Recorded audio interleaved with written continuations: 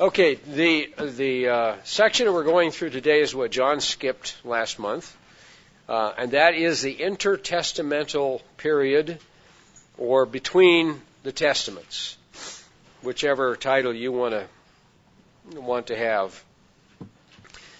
Uh, Malachi finished writing about 400 BC in, in round numbers. It was just before 400 BC, or just after, I guess 397 is what many say it was. And oh, just a second, I've got to tell my phone to be quiet. All right.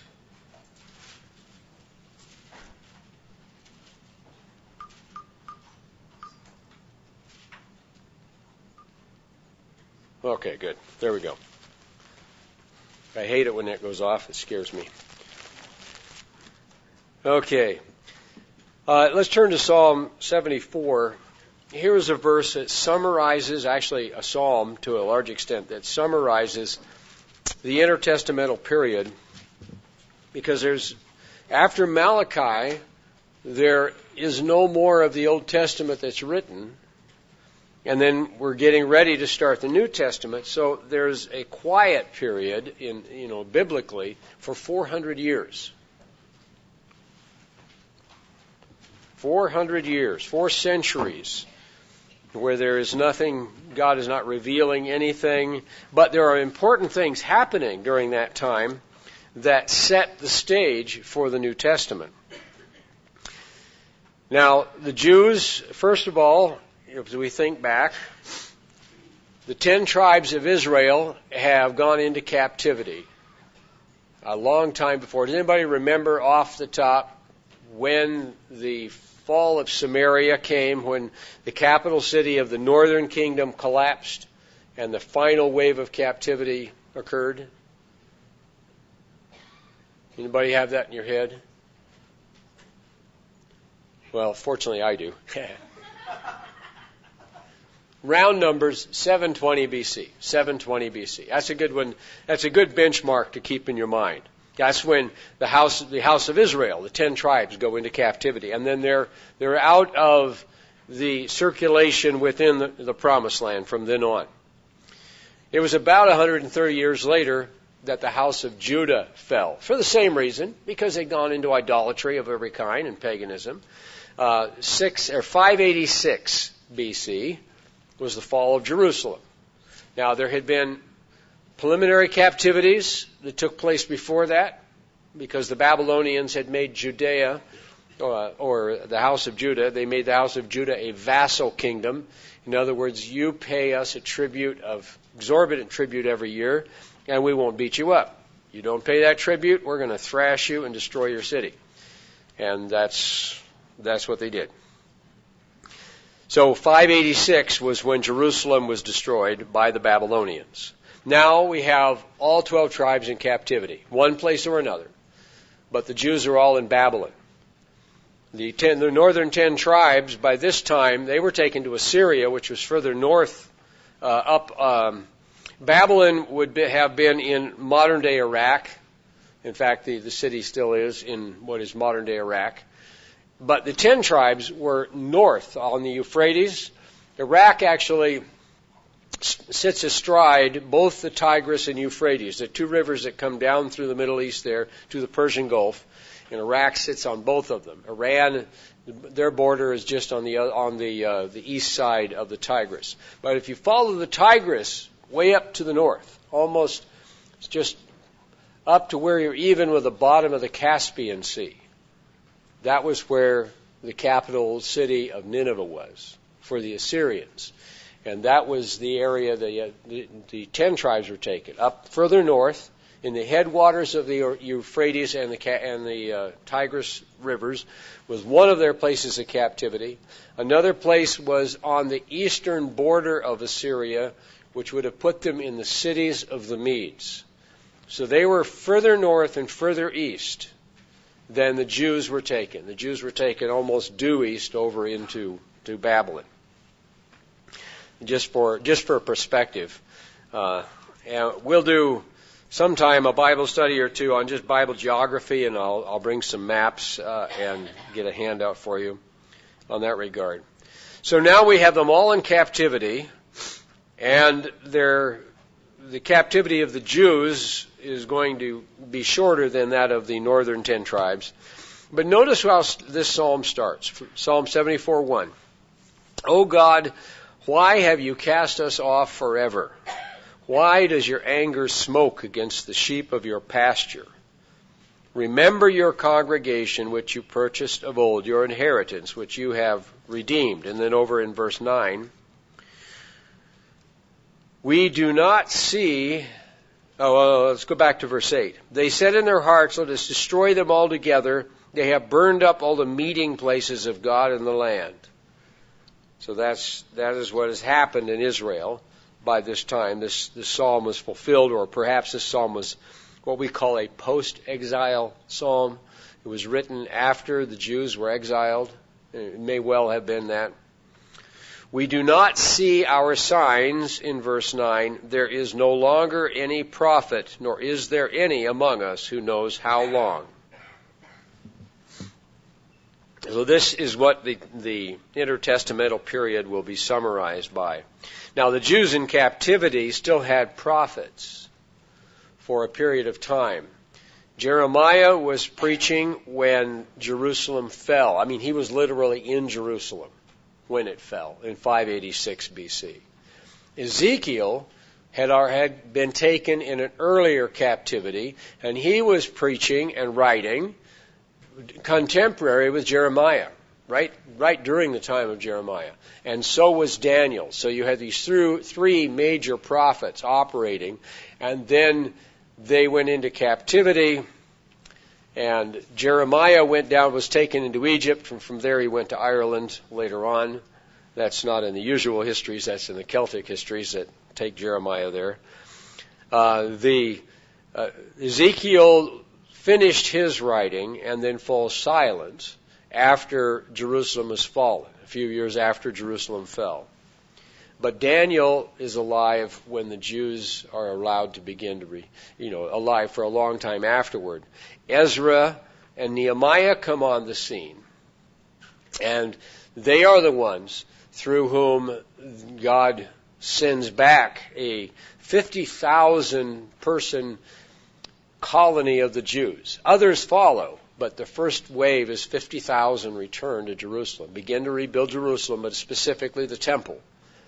Then Nehemiah has to come later to get them to finish the walls around Jerusalem. And even later than that, by 516 BC, the temple is rebuilt. And that included Zechariah's writing about that time, and Malachi wrote after that. And so ultimately we come down to about 400 BC when the final of the, the final prophets of the minor prophets get their finish their writing. And we have a time when there are no prophets, as was implica- implied here in verse 9 of Psalm 74. Now, there aren't many scriptures we're going to go through from now on because we're leading up to the New Testament scriptures. The key to understand what happened during the time between the Testaments has to do with which empire was governing the Jews. And when you understand those, that's how we'll break it up. Uh, Babylon was destroyed or conquered uh, in the days of Daniel by another kingdom, another empire. What empire was that? Anybody have that in mind offhand?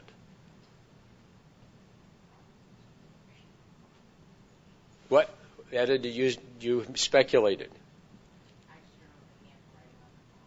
Yeah, that was the time it happened because when they were having the feast, when they saw the handwriting on the wall, which freaked them all out, um, the the next empire was diverting the Euphrates River so they could come in under the river gate, which they did, and, just, and conquered the city that night. That night they conquered the city.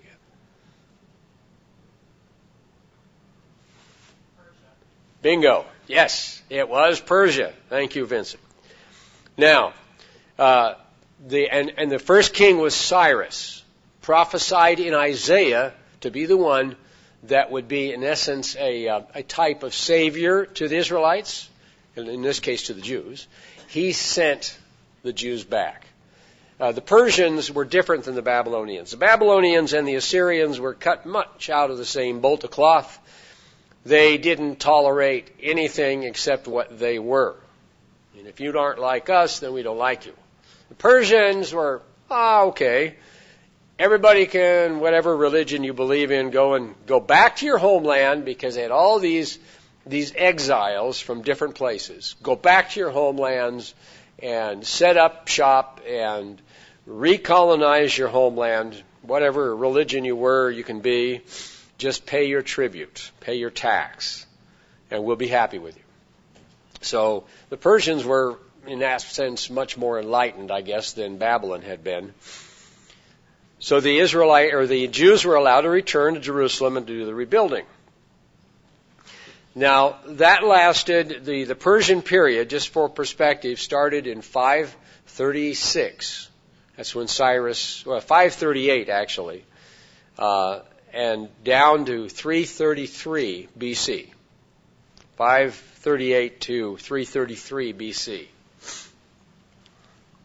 Now, since it was 397 BC that this intertestamental period began, you can see that a good chunk of the Persian rule of the Jews uh, is included in that time, down to three, about uh, 60 years. So the Persian period is also the time of Esther. You remember that uh, the book of Esther takes place. That was during the Persian period. Her husband was Xerxes. Ahasuerus is the Greek way of saying Xerxes. And uh, he, like his father, had been trying to conquer the Greeks. And like his father, they didn't know how to sail. So the Greeks managed to get them trapped with a massive fleet. They thought sure they could overwhelm the Greeks. What they overlooked is the fact the Greeks knew their own water better than the Persians did. And so they they were just totally destroyed the army of the Persians and Xerxes was not happy. So he came back and uh, needed a new wife, and that's how Esther ended up being his wife and delivered the Jews from a, another persecution that was taking place, one after the other after the other. So that was a fairly enlightened time that lasted until 333 BC, other than the times of, you know, uh, Haman and, and various other ones. Then Alexander the Great was rising to power. So this is a, a major influence that is taking place. Alexander the Great comes to power in 320 BC. And then by the time he gets to Persia, 10 years later, he just completely overwhelms the Persians. Alexander had all the Greek cities united under him. His father took care of making sure that happened. For extra credit, does anybody know Alexander's father's name? Yes. Philip. Yes. Good. Uh, they were Macedonians, right on the northern edge of Greece. Alexander brought with him not only his Greek forces, but he had a lot of the Scythian forces. When we did the tribe trackers, the Scythians were Israelites. And they were the mounted archers. And they were very effective tool in Alexander's uh, armies. So they were going back over to some place they'd already been, or their ancestors had already been. Alexander uh, got down to Tyre. So I'm going to tell this story. This is an important one. And it explains why he was so benevolent to the Jews. He got to Tyre, uh, which is on the up in where Lebanon is today, and the Tyronians were holdouts. They were pretty tough, you know, being in that seacoast they could resupply from the ocean, and they were withstanding his siege for a long time. So he sent a message to the high priest in Jerusalem, and he said, Send me an army to reinforce my troops. And the priest didn't want to get involved. He didn't want the Jews involved in, this, in Alexander's wars. So that really upset Alexander. So he was bent on the absolute destruction of all the Jews and Jerusalem as soon as he conquered Tyre. Now, all of his local, all the local cohorts that were constantly at odds with the Jews and, and wanted to destroy them too, they, they were gleeful because they intended to be right there to get all the spoils, take the slaves, gather the money, etc., and so on. When Alexander came down then, uh, he, he sent a message warning them that he was going to invade the land. And the high priest, whose name escapes me at the moment, had no idea what to do. So he went and prayed all night for some inspiration, and finally God gave it to him. So he came out, he told all of his fellow priests, dress in your finest priestly uniforms. I'll dress in the high priest uniform. I want all the people in, dressed in white, and we are going to meet the emperor outside the city gates. And we're not going to meet him as an army, but as a people. Well, you know, that's putting your faith in God to protect you, and, you know, God was inspiring him. So that's where they were. And as Alexander's army, with Alexander in the lead, along with some of these other uh, kings of smaller kingdoms who had allied themselves with him, as they came up to Jerusalem, here you have the spectacle of all these people dressed in white, and then the priests in their uniforms, which are you know particularly stand out, the linen uniforms, and the high priest has not linen, also not only the, the white linen, but then the purple of the, the, the priestly robes, and the high priest was the governor of the land. Uh, if I back up, I'll refinish, finish Alexander's story in a minute. But by the time of Ezra and Nehemiah, when they went back, before the Old Testament is over, you did not have David's heirs sitting on a throne in Jerusalem. They were governed by the priesthood because David's line had gone. Zedekiah was dead, his sons were killed, only his daughters survived. And that was the normal line of lineage. But it seemed to be that the bulk of David's line was just gone. It wasn't with the Jews anymore.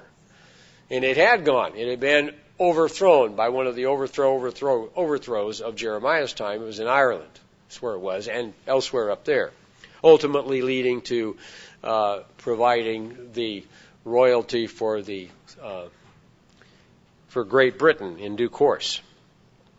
So the line of David was gone, and the, the priests were now the governors of the land.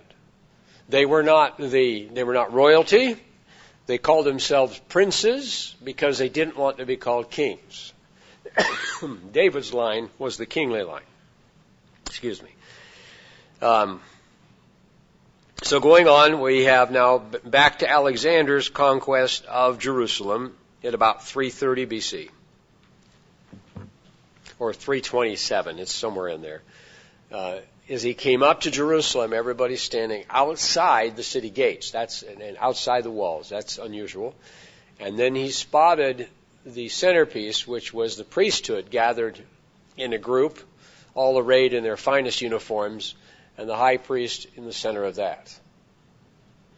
And so the these other sub kings were gloating. Uh, and riding as close as they could to Alexander because that meant that they were of higher status.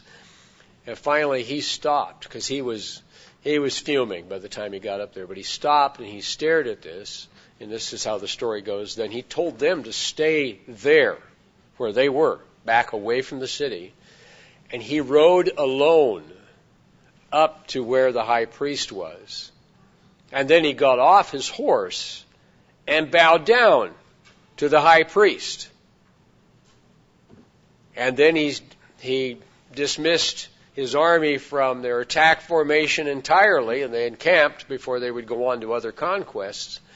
He went into the city on his own and counseled with the high priest and had the book of Daniel read to him, which was very interesting because it showed one particular chapter where, you know, the uh, uh, you have the Medes and the Persians. They were the goat with two horns and a ram, or the the, the, the ram with two horns and a goat with one horn comes charging across and smashes into them. In other words, the Greeks would conquer the Medes and the Persians. So that was that was important news for Alexander. The reason why he had this change of mind when he saw the people standing there, and the high priest especially, is he had had a dream. This is recorded in the Greek histories. He had had a dream when he was in Greece that someday he would see a man, and he remembered the uniform and the hat, and you know the the mitre they wore on his head, and the name blazoned, which was the name of God, on there. And when he saw that, he saw his dream fulfilled right before his eyes. So apparently God had communicated you know, or set, you know, seeded a dream in the mind of Alexander. That's not the only emperor, non-Israelite emperor that he's done that with, or king that he's done that with before. Remember, Pharaoh had dreams. But he saw the dream fulfilled, and so he stood, he had his army stand down. There was not going to be a battle. And he treated the Jews with great respect. Alexander did. Unfortunately, he only lived a few more years before he died in 333. So the Greek period, however, took over from this point forward um, until uh, 333 to 323 BC. He treated the Greeks very well, and then when he died, uh, his his empire was broken into four pieces. Lysimachus, Cassander, which were over in Greece, Macedonia, and part of Asia Minor, and then the Seleucid line, S-E-L, C-U, uh, where's the list? I've got it written down here someplace. S-E-L-U-C-I-D for all practical purposes. We won't count it wrong if I if we misspelled it. And then the Ptolemies, which is actually P-T-O-L-M-E-Y. They had Egyptian holdings because he had already conquered Egypt. So they got to rule Egypt. That was one of his generals. And then the Seleucid king got to govern Syria, the north, and off to the east as well. so those became the king of the south were the Ptolemies, and the king of the north were the Seleucids. And when you read Daniel chapter 11, there's a very detailed chapter written 300 years before it all unfolded of the battles between the Seleucids and the Ptolemies. Back and forth, back and forth they went. As a foreshadowing of the beast power and the king of the south. The beast power in the end time, in our day, sometime, soon, it looks like, sooner and sooner it looks like there will be a king of the north who will come against the king of the south because the king of the south had been pushing at him. So the Seleucids and the Ptolemies, Ptolemies in Egypt in the south and the Seleucids north, and based, they were based in Syria, so therefore north of Jerusalem. Their holdings were extensive. Sometimes they ruled most of Asia Minor and extensive holdings way out into Iran, Iraq territory, Persian territory of today. So they then that, that would be called the uh, the Greek period would be Alexander's reign, and the immediate time after his death. Again, the Jews were treated well at that time. Uh, they're in in the promised land as well as in cap in the area of their captivity. Many did not return from the area of Babylon. They stayed there. Many came back. But bear in mind, even even Peter traveled to Babylon and he wrote back to the brethren in Bithynia and Cappadocia and Upper Galatia. When you read in 1 Peter, he was writing back to his home churches because that's where his primary base was, up on the shores of the Black Sea. But he traveled to Babylon because it was still a city and there were brethren there. And the reason there were brethren there, the apostles were sent to the 12 tribes. The Jews were there, and so were some of the other scattered remnants of the tribes. So, uh, with, with, that in mind, then there would have been Jews that were still in the Babylonian, what had been the Babylonian Empire, and they began to move into various areas. The Jews began to move out into other parts of uh, the Greek Empire as it existed then. Later, they would expand into various locations in the Roman Empire. So we're, the Greek period ends in 323 and the Egyptian period begins. Initially, the Ptolemies, or the Ptolemies, out of Egypt, governed Palestine. And generally speaking, they treated them with respect. They were harsh to a certain degree.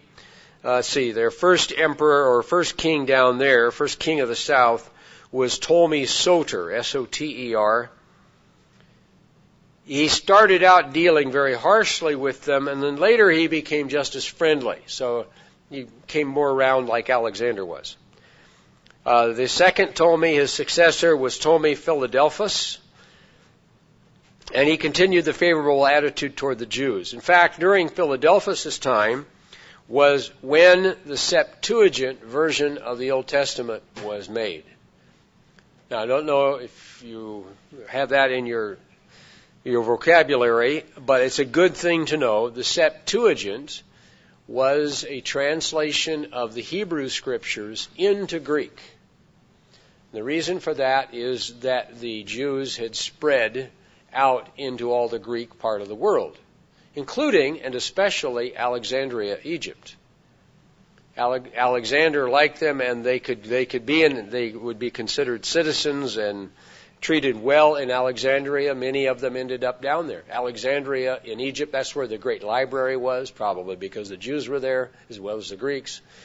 But Alexandria in Egypt uh, in New Testament times had more Jews by far in that city than there were, according to most historians, in all of Judea. There was a larger population of the Jews down there. So, because there were so many Jews that were now speaking Greek, they felt that the the, the Sanhedrin, or rather the uh, the priests, believed that it needed to be done. That would have been about 200 BC when that took place, right toward the the end of the Egyptian period. So they made the Septuagint translation, and when you note in your margins uh, in your Bibles, at certain points, the Old Testament is quoted in the New Testament, and and then you go back and look up the place back in the Old Testament, and you think, well, yeah, that's that's the same statement, but there's a word or two that are slightly different. It's because it's taken from the Septuagint. And you find that notated in most study Bibles will mention that it's quoted from the Septuagint. Sometimes it was quoted from the Hebrew Scriptures, sometimes from the Septuagint. So it appears that Christ and the apostles were completely conversant with the Septuagint, which meant that they at least could uh, they could speak or read Greek some doing it better than others. Paul was particularly good in Greek. So that, that occurred during the Egyptian period from 323 to 204 BC. The Egyptian period that when the Jews were ruled by the Ptolemies. They weren't ruled by Egyptians. These were Greeks. These were the Greeks that were ruling the Egyptians. They also ruled the Jews. And that was started in 323 BC and ended in 204 BC. Remember, we're counting down.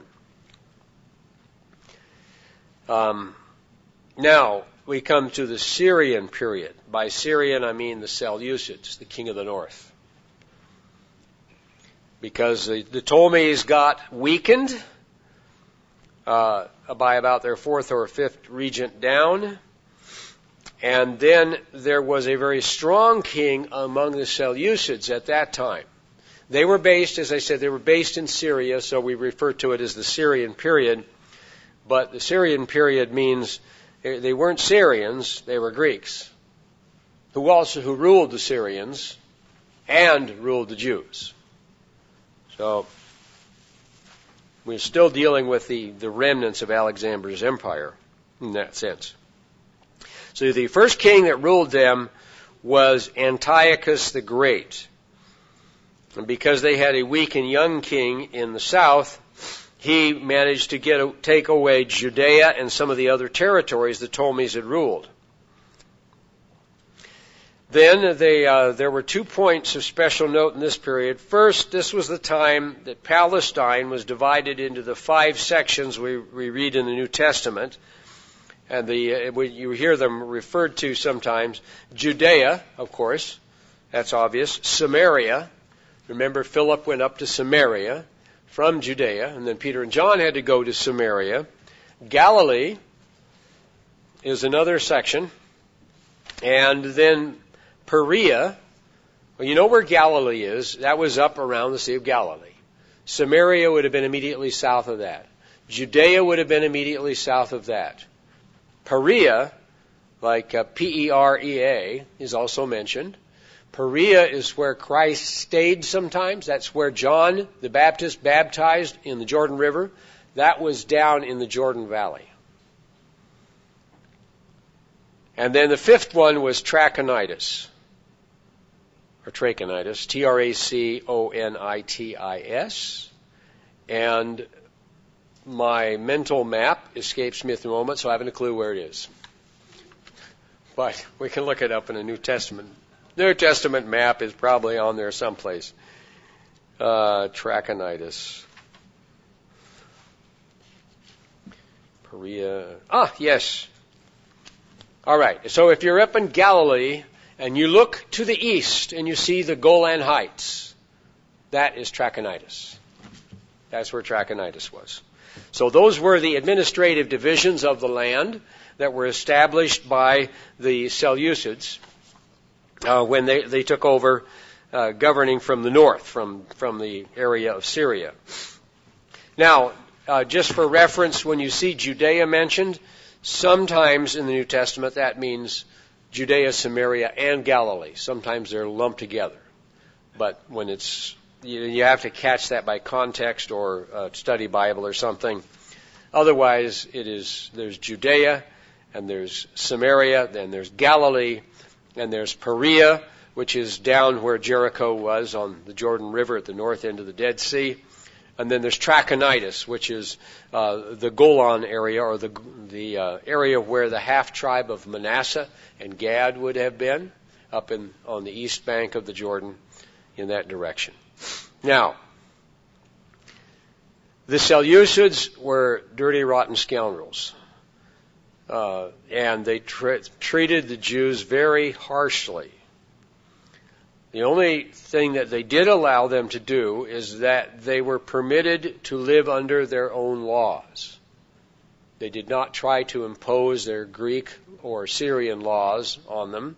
They did allow them to live under their own laws administered by the high priest, who was the governor of the Jews. So they allowed that. However, it was during that time that we had the rise of Antiochus Epiphanes. Antiochus, just this is a good one to remember his name. A N T I O C H U S. A N T I O C H U S, Antiochus. Epiphanes is, you know, like uh, revelation. You have an epiphany, so that's what it's referring to. Um, is E P I P H, Epiph, E P I P H, and then A N E S, Epiphanies, Antiochus Epiphanes. Now, he ruled from 175 to 164 BC. And he terrorized the Jews. He was a very evil leader. Jerusalem was plundered, the wall was torn down, the temple was desecrated, temple sacrifices under his rule were abolished. He set up um, uh, statue of Jupiter in the Holy of Holies. They offered swine's blood on the altar of burnt offerings. This is referred to as the uh, abomination of desolation, in, one aspect of the abomination of desolation. He completely insulted the Jews. He tried to make the Jews become Greeks. And many of them started to do that. But not all of them. Bear in mind, Israelites, you always seem to have two minds. Some want to try, try to do what God wants them to do, albeit imperfectly, and others try to assimilate whatever culture they're in. They like to go and be a pagan or a Greek. Greek Greeks were pagans, so they're going to be Greek pagans this time instead of Babylonian pagans or Canaanite pagans or Persian pagans. So Antiochus Epiphanes treated them very badly. However, that then raised the ire of the faithful Jews. And so we, we, as Antiochus Epiphanes is brought down, there was a battle that took place from 168 to about 165. He began to lose his hold over the, the Jews. There was a high priest named um, Matthew. Maccabeus was his, well, no, he didn't have a last name, just Matthew was his name. He had five sons. The middle son's name was Judas. And it was, that was the key son because he led the Jews in a revolt against Antiochus Epiphanes, and which resulted in a three year guerrilla war. His brothers joined in, and his father was a part of that. Uh, and, you know, by this time, the, the sacrifices had been shut down by Antiochus Epiphanes as a foreshadowing of how they will be shut down you know, there will be an end of the morning and evening sacrifice in some way, which sounds like there has to be sacrifices again before the return of Christ for a period of time and then they're stopped. But Judas became known as Judas Maccabeus. Maccabeus is the Hebrew word for hammer. He was known as Judas the Hammer, the, old, the, the Thor of the Jews, as it were. He hammered the Greeks with his guerrilla warfare tactics, pounded on them, and ultimately broke their will to rule and chased them out of the country. Then Judas died in battle, but his brothers ruled successively for a period of time, not terribly long, but for a period of time. They were known as the Hasmonean family uh, that was their, their Hebrew family name. Uh, and their, he, he ruled and his brothers ruled, and then the sons of some of the brothers ruled for a period of time. So the Maccabean period, and Maccabean is uh, M A C C A, Macca, and then Bean, B E A N. Pronounced Maccabean. From 165 to about 163 BC. Or rather, one sorry, 165 263 BC. It's almost 100 years. Almost 100 years.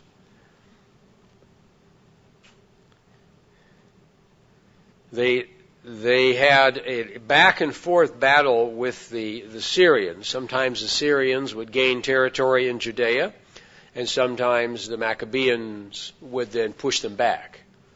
So it was a time of Jewish independence, almost a century long, from 165 until 63 BC.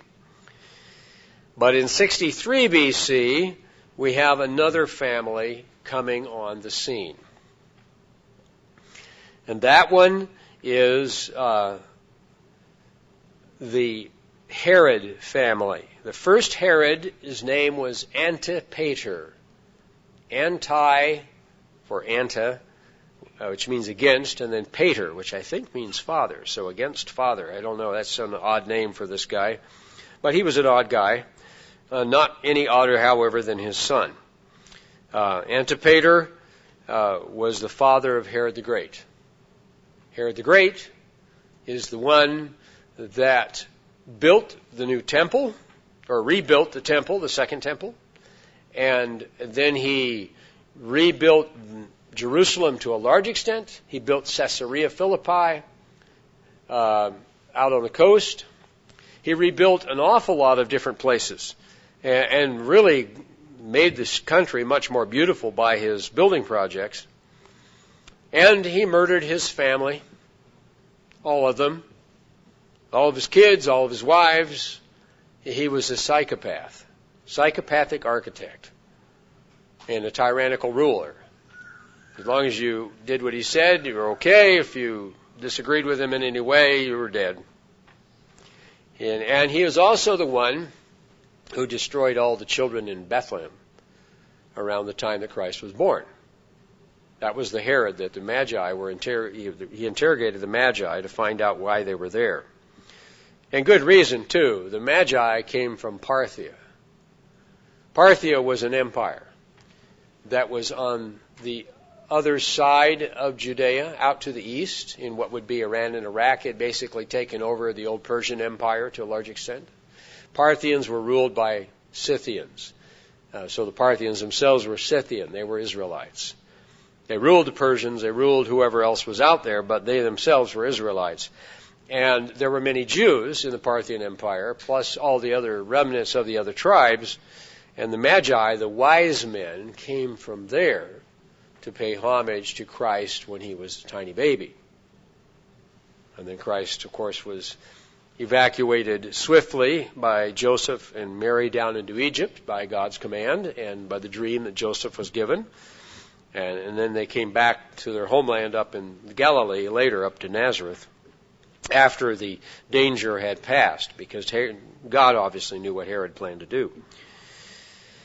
So we come down to the Roman period of the inter of between the testaments, and this is when the Roman Empire dominated the Promised Land, and it started in 63 BC and went up to about 4 BC. Christ was born 4 BC by all, almost all reckonings. You think, well, how could you be born before your time? Yeah. Well, that's easy. The guy who came up with the BC and AD business did that hundreds of years later. And when he did his history work, he was off. Later historians realized that, and so then they date Christ's birth at 4 BC instead of 0. When we were at the Big Dig in Jerusalem, this had happened more than once, but it happened in 1973. We were divided into holes, groups of students, ABC or ambassador students, working in different holes. Literally, we all started out on the level at the beginning of the summer, and by the second or third day, they had they had string where they marked out our hole. We were a hole. We just start digging straight down and discovering whatever there is to discover as we went.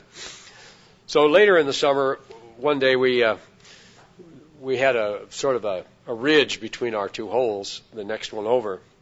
And they all got out of their hole to go and get a drink of water. It was water break time. So one of the other fellows and myself, with the agreement and collusion of, of the girls and the other guys in our in our dig spot, we found somebody had a piece of clay that was not of any antiquity value. It was a flower pot that got broken. And they picked it up and suggested the idea. So the other fellow and I grabbed a rock, a sharp rock, and we scratched 4 BC. In English, you know, the 4 BC, and in, our numerals and our letters and periods in the appropriate places. And we rubbed it good then with the dust, so it looked old. And we hopped over into the other hole and found a place we knew they were digging, and we slid it just under a little, about half inch of dirt, knowing they would find it after the water break. And they did. And they were all excited, and they sent somebody to run and get the dig boss, you know, the Hebrew University archaeologists who were supervising our groups down there. And we were just dying with laughter. And they stopped their excitement briefly and they heard the laughter. And then it dawned on them they'd been had. How could you have a piece of pottery marked 4 BC when whoever was marking it wouldn't have known that it was BC? Oh, a bit of fun. Anyway, the Roman period goes right on up to 4 BC, and then the New Testament is underway. The Romans, of course, governed Judea until 70 AD. Actually, longer than that. They governed Judea, oh my, into the two, three, well into the 300s, well into the 300s or later, AD. They fought battles with Rome. Oh, we'll get to that. The, the Roman, the Roman wars. I'll, I'll add that on to, to this message here in just a couple minutes. Well, let's go back to the Herod family. We have Antipater, who is the father of Herod the Great. what he did in order, because he, he didn't really have the power to conquer the Jews. Now, the Herods were partly Jewish, but mostly they were Edomite. Uh, what was the term? The Edomians or Edom? Um, it's escaping me, but it means Edom. They came from down in the ancient area of Edom. The reason they were attached and had some political influence is because under the Maccabean family, which was a priestly family, and the priests were governing the nation at the time, they were also adding to the size. So they had conquered ancient Edom and added it to Palestine. They increased the, the territory of their holdings. They were, you know, in active conquest. Antipater came along and found an ally that could turn the tables and give him the political hierarchy of the area, and that was Rome, in the person of General Ptolemy, or uh, yeah, Pomp. Sorry, General Pompey, P-O-M-P-E-Y. Pompey is what they say sometimes, but Pompey was his the way it's apparently said in Latin. Excuse me. So Pompey conquered it uh, in the name of Rome, and then he set up uh, Antipater as a client king. In other words, he ruled the area for Rome. And that, that agreement was to exist for some period of time. There would be a Roman presence because there would be a Roman governors of part of the area uh, and a Roman army there enforcing Rome's hold on it. But the Herods were client kings in the sense that they ruled at the request of the Romans. Or they ruled at the request that the Romans made because they asked them to. When uh, Antipater assigned his own son, who was uh, uh, his son by marriage to an Arabian princess. So he was part Arab, Herod the Great was. Then, uh, excuse me, I got a bit of bronchial pneumonia during the feast, and it's still just in the process of departing. Herod himself was appointed king of Rome about 40 BC. About 40 BC. Herod the Great.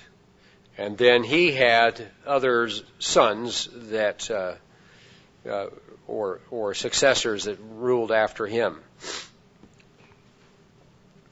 Now, Herod the Great increased the splendor of Jerusalem quite significantly during his time, as I mentioned. So we have Jerusalem being built during the Antipater and especially the Herod the Great period being built up into what we read about in the four Gospels and the book of Acts. So that gives us that gives it a little bit of the political background and who the Jews were governed by.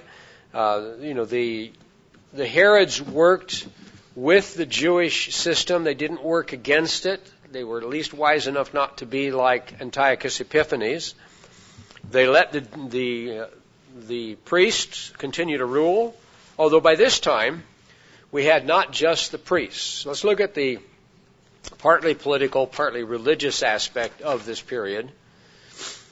When the Jews were into captivity and Malachi finished his writing and the events of Esther had taken place, we're down to 400 BC.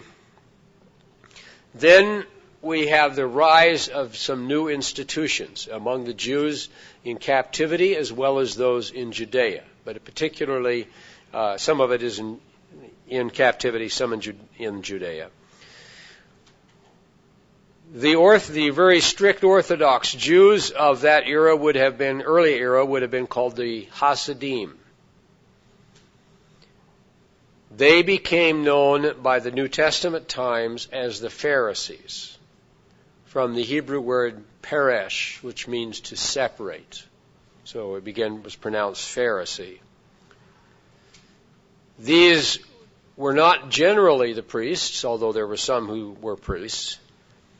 The Pharisees were super strict and wanted to separate the Jews from everybody.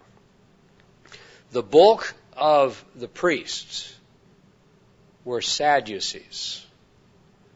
Now, I make a joke. The Sadducees, the, the priests and the, the Pharisees and the Sadducees doctrinally were different as well. The Pharisees believed in a resurrection. The Apostle Paul had been a Pharisee, a Pharisee of the Pharisees, as he said himself.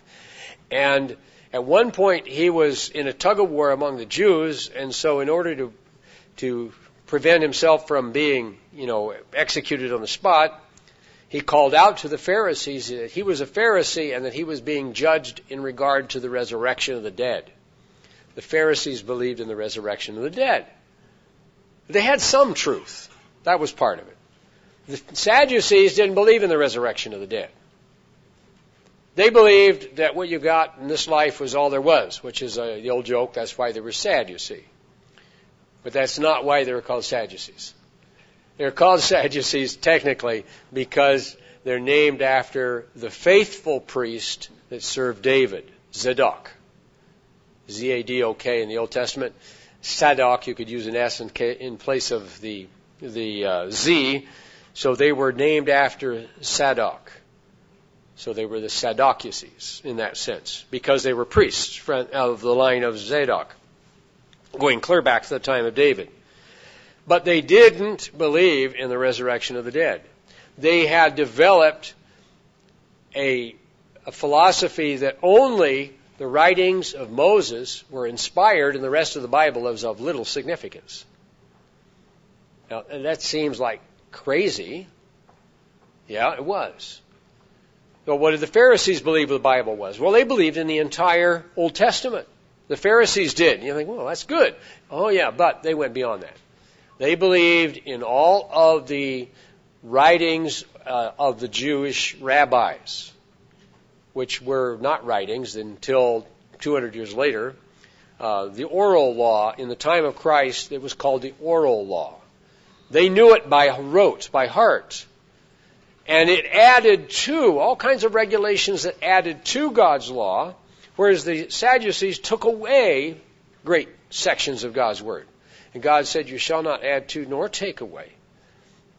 So the Pharisees and the Sadducees were both wrong in that sense. However, it was during the intertestamental period that these two power groups rose. The Pharisees did not get their start until about 96 BC, when the priesthood had been primarily the writers. They were the ones who could read and write. Uh, and so they, and therefore they were the, they were scribes. A scribe means one who writes. they got wealthy enough that they did not need to write anymore for other people. So they taught some regular Jews how to write. Well, when you educate people, and give them capabilities, you give them power. So over the course of time, these regular Jews who could write now became scribes, experts in the law. They could read it, they could argue it, which they loved to do for you know days on end, and that gave them political power. So that that's what gave the power to the Pharisees is the fact the Sadducees taught them how to read and write. Up to that time, mostly the, the priesthood did the reading and the writing. But from about 100 BC onward, the Pharisees began to have that power. So then they became the two primary, primary political powers in the New Testament area. There were also the Herodians. The Herodians were the Jews who were, who were significantly secular and who allied themselves with the Herods. Uh, there were other two other smaller groups that rose out of this: the Zealots and the Essenes, and both were more nationalistic groups. The Zealots were actually assassins. They would assassinate anybody they didn't like. And uh, so they, they, they caused a problem. Uh, an example of zealots that not in the intertestamental period, but but uh, after the the first Jewish war, which was 66 to 70 A.D., the Battle of Masada took place in 73 A.D. And those were zealots. The Jews who had encased themselves in this fortress hideout or redoubt, as the English call it, which is a place you go to when you're in jeopardy. You have these these you know these citadels you could go to to for protection, or or places that you could defend in that, sense. Well, that's where the, the Jews who stayed up in Masada and were finally destroyed by the 10th Legion of the Roman army, uh, they, they were zealots. One of the other minor, minor groupings of the Jews. But the two big ones were the Pharisees and the Sadducees.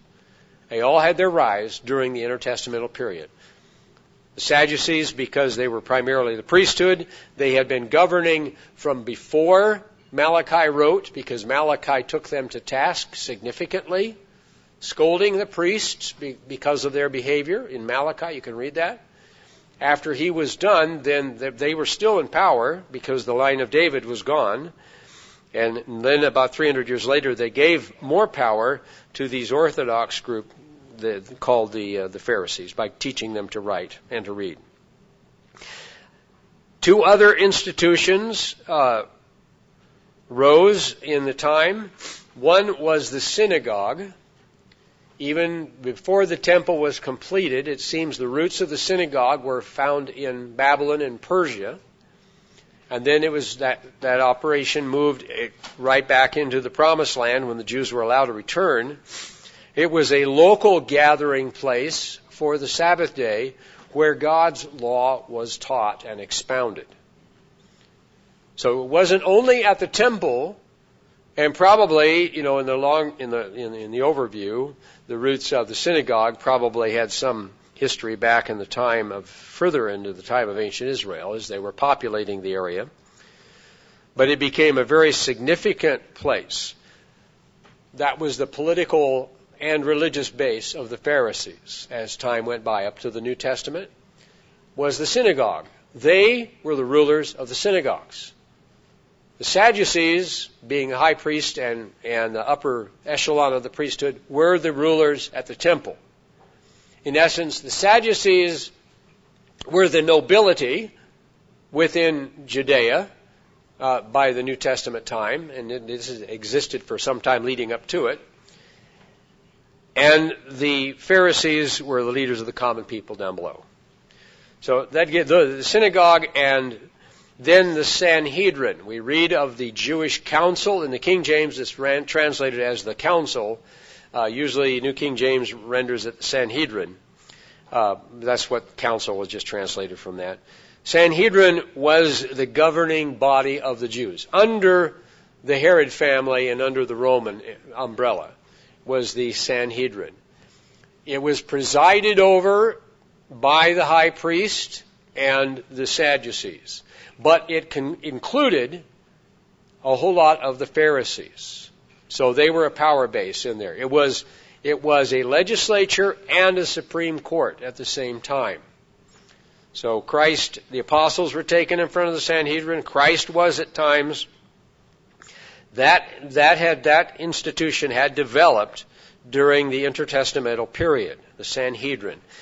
And it is the 70. There were 70 of the leading elders, as they were considered in the, of the time, uh, that did the governing. Okay, well, any questions about the intertestamental period or what happened between the, the, the two testaments? Well, if not, then uh, I think we can go ahead and conclude that section. I will try to put a handout together to summarize some of these things for you so you have a handy review sheet. I just didn't quite have time since the feast to, to get that done. But when you understand how you shift from the Old Testament and then move through the 400 years and all the wars that took place and the developments of institutions that took place, and then come out into the New Testament, a little bit of knowledge of the intertestamental period or between the testaments helps you appreciate the transition from one section of the Bible to the other.